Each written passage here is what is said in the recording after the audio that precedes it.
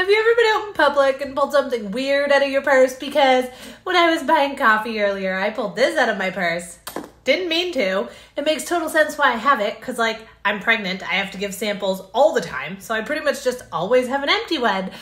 But the person at the cash register was like,